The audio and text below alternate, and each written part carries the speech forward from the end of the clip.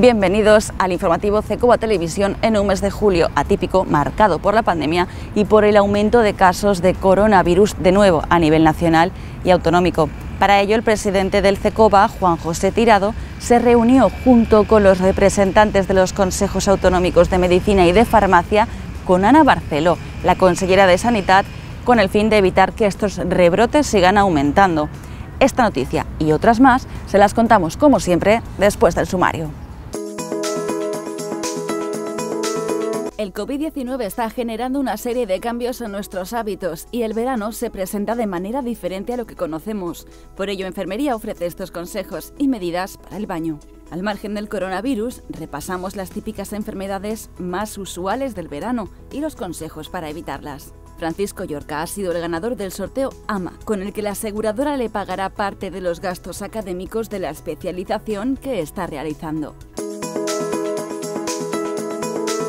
Juan José Tirado, presidente del CECOBA, le trasladó a Ana Barceló en una reunión conjunta con los representantes de los consejos autonómicos de medicina y de farmacia las medidas necesarias para atajar esta crisis sanitaria y, sobre todo, para evitar que los casos de COVID-19 sigan aumentando. El presidente del CECOBA, Juan José Tirado, junto a los representantes de los consejos autonómicos de farmacéuticos y médicos, se reunieron el pasado viernes con la consellera de Sanidad, Ana Barceló, para abordar las necesidades del sector sanitario tras el estado de alarma y los rebrotes que se están produciendo y el escenario que puedan provocar. En este encuentro, Tirado hizo hincapié en aplicar las recomendaciones que trasladó en Les Corts, y entre las cuales está el aumento de enfermeras en primaria y hospitalaria, así como la especialización de las enfermeras en puestos específicos y que se cuente con la presencia de enfermeras escolares en los centros de enseñanza. Por su parte, Barceló trasladó la dificultad de aumentar plantillas de enfermería al no haber enfermeras disponibles en la comunidad y aclaró que se ha realizado un esfuerzo económico para suplir las carencias de los profesionales. De otro lado, el CECOBA trasladó la necesidad de que el tiempo trabajado en residencias sea reconocido en el baremo para la bolsa de trabajo y que se equipare a estas enfermeras en derechos salariales y en acceso a puntuaciones. También se destacó la importancia del funcionamiento de la ventanilla única para derivar a los usuarios a los recursos sanitarios y sociosanitarios existentes, que se cuente con enfermeras especialistas reconociendo su condición y que se reorganice la asignación de recursos en función de las cargas de trabajo. En la misma reunión, los representantes autonómicos sanitarios trasladaron a la consellera la necesidad de imponer el uso obligatorio de la mascarilla en la comunidad, siendo un hecho al día siguiente. Lo mismo se espera con el reconocimiento público a los profesionales sanitarios que se propuso en la reunión. Ana Barceló informó de las medidas que se están implementando, como el gasto de 67 millones de euros en reemplazos para las vacaciones del personal sanitario. Por último, la consellera expresó su deseo de que estas reuniones se mantengan de manera periódica. Por otro lado, Francisco Pareja, el presidente del Colegio Oficial de Enfermeros y Enfermeras de Castellón, se reunió con la presidenta del PP de la Comunidad Valenciana, Isabel Bonís, quien le trasladó las propuestas que han hecho llegar en Les Corts a propósito de la Comisión de Recuperación después de la pandemia provocada por la COVID-19. Entre estas medidas se encuentra la de incluir una enfermera escolar en todos los centros educativos. La presidenta del PP de la Comunidad Valenciana, Isabel Bonich, se ha reunido con el presidente del Colegio Oficial de Enfermeros y Enfermeras de Castellón, Francisco Pareja, para trasladarle la iniciativa que ha presentado su grupo en Les Corts y que se encuadra dentro del marco de la Comisión de Reconstrucción. Esta iniciativa exige la implantación de la figura de la enfermera escolar en los centros educativos. Lo pedimos por dar seguridad a la comunidad educativa en el inicio del curso de septiembre y sobre todo por profesionalizar una, una vuelta a las aulas que se tiene que hacer con normalidad y con profesionalidad. Y qué mejor que los profesionales de la enfermería para que puedan supervisar, mm, detectar esa labor de prevención coordinado con los centros de atención primaria. Eh, eh, para dar seguridad, que todos los protocolos de contingencia que se están haciendo en los centros educativos lo hagan, que nosotros pedimos que sea supervisado por técnicos de riesgos laborales y por estas, por los enfermeros y enfermeras, y también que se dote de material adecuado a los centros de a los centros, a todos los centros de educación. Por su parte, Francisco Pareja, alejado de siglas o de colores políticos, lamenta que una pandemia haya venido a demostrar cuánto de importante es una reivindicación de casi dos décadas del CECOBA. Ahora mismo son los ayuntamientos los que están contratando o los que están haciendo una serie de, de esfuerzo importante para poder tener enfermera escolar. En la pandemia se han dado cuenta de que no tenemos el mejor sistema sanitario de España, sí tenemos los mejores sanitarios, sí los tenemos a los mejores profesionales sanitarios formados en nuestras universidades, que de ello además eh, es reconocido a nivel europeo, pero el sistema público, el sistema de, de, sanidad les ha fallado, ¿no? O se les ha aglomerado, se les ha, se les ha echado encima todo, todos los pacientes. ¿Por qué? Porque han recortado, porque no han gastado. Los políticos, tanto a nivel autonómico como a nivel, a nivel nacional, pues tienen que recapacitar y ver qué sistema sanitario tienen y qué es lo que ellos están ofreciendo a la ciudadanía, porque la ciudadanía se ha llevado una gran sorpresa. La ciudadanía pensaba que tenía un sistema sanitario estable y fuerte y la ciudadanía lo que no sabía es que tenía un sistema sanitario deficitario, es decir, que no se había invertido en nada para poder dar unas garantías como nos ha exigido ahora mismo la pandemia. Una reunión que el presidente del Colegio Oficial de Enfermeros y Enfermeras de Castellón ha mantenido, como en otras ocasiones, y en la que ha trasladado la necesidad de especialidades y competencias, entre otras observaciones ya históricas de enfermería. Como ya sabéis, este nuevo coronavirus ha cambiado la vida de las personas y en este sentido la enfermería ofrece unos consejos básicos para poder disfrutar este verano de las playas, piscinas y ríos. El CECOBA recuerda a la población que el virus del COVID-19 sigue entre nosotros y que no se debe descuidar las medidas de seguridad. Asimismo, hace un llamamiento al personal sanitario sobre mantener de igual forma estas normas de protección con pacientes y con compañeros de trabajo. Es difícil con el calor y las vacaciones resistirse al baño. Para ello, el Consejo General de Enfermería ofrece los siguientes consejos. Es imprescindible consultar las normas de asistencia a estos lugares impuestas por los ayuntamientos de cada localidad, ya que establecen aforo y limitaciones. En la arena de playas, césped de piscinas o de ríos, se recomienda mantener la distancia de seguridad de un metro a dos metros de otros visitantes, incluyendo toallas, tumbonas u otros objetos personales como bolsas o juegos. La transmisión del virus puede producirse también en el agua, por lo que la distancia se mantiene durante el baño y se prohíbe el contacto de juegos u objetos de otras personas que no sean convivientes. Se permite el baño en duchas y el acceso a baños y vestuarios siempre que sea de manera individual.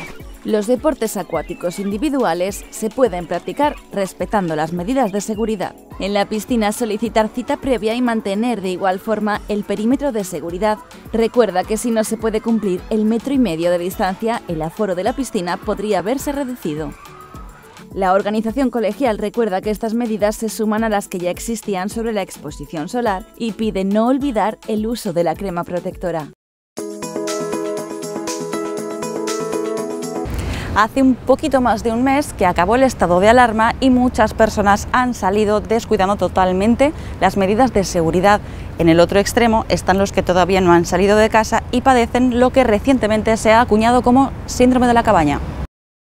La fiebre de la cabaña comenzó a utilizarse a principios del siglo XX para describir los efectos en la salud mental de todos aquellos que pasaban mucho tiempo aislados en casa, bien por las condiciones meteorológicas adversas o bien aquellas personas víctimas de un secuestro. Después de la cuarentena se rescata esta idea para acuñar el síndrome de la cabaña. No es un trastorno de salud mental en sí, sino que son una serie de signos y síntomas que estamos observando ahora a raíz del confinamiento que hemos tenido. Característica principal es un excesivo miedo a salir, a volver a nuestra rutina, a la exposición social. Por ejemplo, a nivel cognitivo podemos tener un déficit de atención, menor capacidad de concentración, también podemos tener un aumento de nerviosismo, hiperventilación, taquicardias. Hay sintomatología relacionada con la depresión, sentimientos de tristeza, falta de motivación, también alteraciones en el patrón del sueño. Según el enfermero especialista en salud mental, esto ocurre detrás de una etapa de aislamiento social prolongado,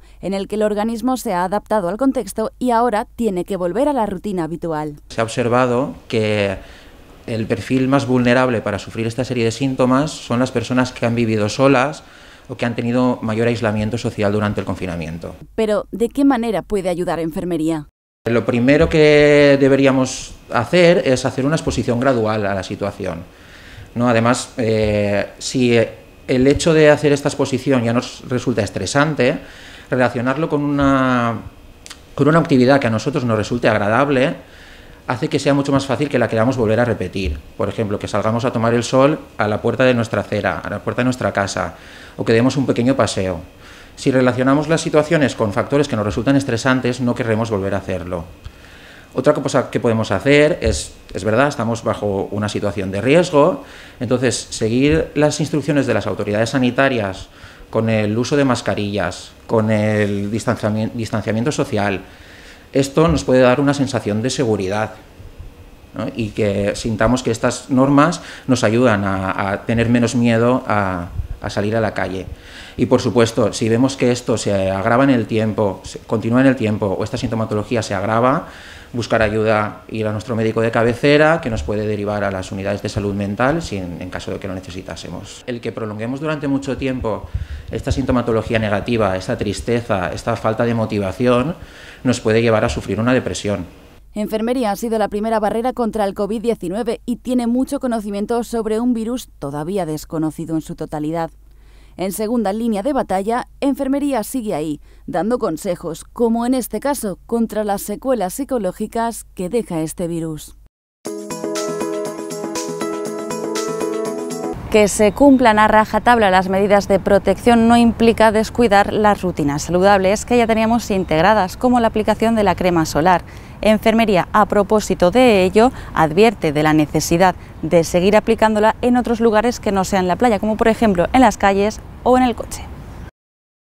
Había ganas de salir de casa y de verano, y junto a las medidas de seguridad para evitar el contagio del COVID-19, no se debe descuidar otra de las medidas más importantes de todos los veranos, protegerse de los rayos ultravioleta que pueden provocar graves problemas de salud. Por ello, Enfermería sigue ofreciendo consejos y buenos hábitos para mantener una vida sana y fomentar el bienestar. Recoge las siguientes recomendaciones para evitar las quemaduras durante este verano. En la playa, piscina o ríos. La aplicación de cremas solares adecuadas al tipo de piel de la persona. Recuerda que si tu piel es blanca o muy blanca, debes protegerte con un factor solar de 30 como mínimo. Si en cambio la tienes morena, un factor 20 como mínimo, y si la tienes muy morena o negra, el mínimo se fija en el factor 15. Utiliza sombrero que proteja no solo el cuero cabelludo, sino la cabeza y cara para evitar las quemaduras en los sitios menos previsibles como labios, ojos u orejas. Si ya te has quemado o por ejemplo intentas evitar que un niño se queme jugando en la orilla,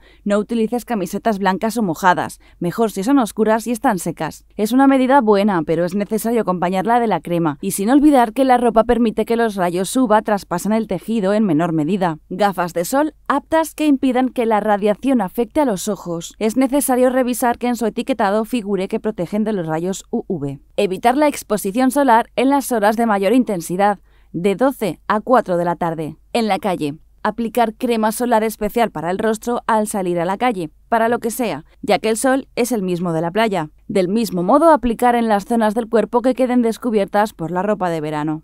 Durante la conducción es importante también, ya que aunque el aire acondicionado cree otra sensación, el sol está proyectando de igual forma los rayos a través de un cristal. Es igual de importante el uso de gorras o gafas de sol unos hábitos saludables que no se deben descuidar y que deberían realizarse de manera automática ya que la radiación es cada vez más agresiva y sus efectos a largo plazo, por lo que se suelen olvidar.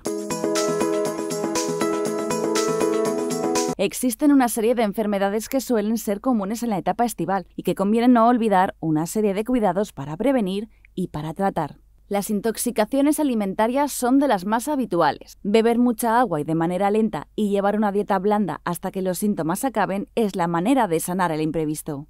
Las infecciones también son causa común de las visitas al centro sanitario. Las conjuntivitis o las otitis provocadas por las bacterias o virus que circulan por el agua afectan a una buena parte de los bañistas. Además de secarse bien al salir del agua, es importante lavarse las manos e idóneo colocarse gafas de bucear o tapones para los oídos con el fin de prevenirlas. La infección de hongos, otra de las enfermedades más habituales. La humedad vuelve a ser la responsable de esta infección en el verano. Los zapatos cerrados, los bañadores mojados o no secar la piel correctamente pueden conducir a su aparición. Por último, las picaduras de mosquito, abejas, avispas u otros insectos o animales marinos que también aman el verano. La única prevención posible es el uso de repelentes o evitar permanecer en las zonas de mayor proliferación. La prevención es de cada uno y por eso Enfermería está, como siempre, detrás, dando los mejores consejos para disfrutar del verano. La agrupación mutual aseguradora para los profesionales sanitarios ha hecho entrega, como cada año, del cheque mediante sorteo que sufraga parte de los gastos de la formación en la especialización, en este caso, de los colegiados y colegiadas valencianas. En este año, el ganador ha sido Francisco Yorca. La mutua de los profesionales sanitarios ha hecho entrega de una de sus becas a un enfermero colegiado en Valencia. Como cada año, AMA destina parte de sus beneficios económicos a la colaboración con los colegios profesionales, en este caso con el Colegio de Enfermería de Valencia y con el CECOBA. Las colaboraciones de la mutua y los colegios giran en torno a la formación de los profesionales de la salud y este acto de entrega del cheque es otro de sus compromisos. Un sorteo anual de becas para todos aquellos eh, profesionales sanitarios que se están formando y que están pagando sus academias, en este caso para sacar la plaza de enfermero interno residente. Y lo que eh, hemos hecho este, en este acto ha sido pues, una entrega de una beca a un enfermero para sufragar los gastos de su especialización y de su formación académica para optar a una plaza de enfermero interno residente. Nosotros intentamos que con estas becas y estas colaboraciones eh, mejore la calidad de la enseñanza de los enfermeros, mejore la eh, prestación de servicios por parte del colegio y por lo tanto pues revierta efectivamente en una mejor calidad de la enfermería. Él ha sido el ganador de este sorteo. No se esperaba ser el ganador ante la cantidad de compañeros que se han presentado, pero tiene claro que su inversión la va a conducir a la mejora de su carrera y por consiguiente de la atención al paciente. Lo vi en el correo del CECOBA y me pareció una muy buena iniciativa y nada, y tuve la suerte de participar y que me, que me tocase. Agradecer a, pues evidentemente al grupo Ama Seguros por, por dar esta oportunidad que para nosotros, pues los que tenemos menos medios, pues nos viene muy bien para poder alcanzar pues la, plaza de, especialista en enfermería. No sé muy bien aún la especialidad, la verdad, pero sí que me gustaría especializarme porque la enfermería es muy generalista y me gustaría un poquito más pues especializarme en algún campo más concreto. AMA pues no, no solo colabora con nosotros en el seguro, sino que encima pues nos da también unas posibilidades de premiar algunos colegiados con ayudas económicas. En este caso le ha correspondido a un colegiado que ha participado en el sorteo pues un premio para poder especializarse y pagarle los estudios en, en una academia. Yo creo que es una muy buena posibilidad que han tenido y desde luego es algo que generan lo que denominaremos en breve amigos de la enfermería, que va a ser una especie de premio que daremos y reconocimiento a todas aquellas instituciones o personas que colaboran con la profesión y que después de esta pandemia se han visto como necesitadas de que eh, tengan un reconocimiento por ese apoyo que nos han dado a las enfermeras. La Mutua de Seguros para Sanitarios ofrece estos premios por una razón muy concreta. Devolverles eh, en becas, en premios, en colaboraciones económicas con el colegio, lo que ellos han pagado en primas de seguro, donde nosotros por nuestra parte intentamos, por supuesto, cuando hay un siniestro, dar lo mejor de nosotros mismos y que se note que somos una mutualidad y no una mera compañía de seguros. Mientras que las enfermeras tituladas siguen formándose para especializarse y con ello proceder a una mayor calidad de la atención, CECOBA seguirá luchando por el reconocimiento y aumento de la especialización que permita acercarse cada vez más a la excelencia asistencial.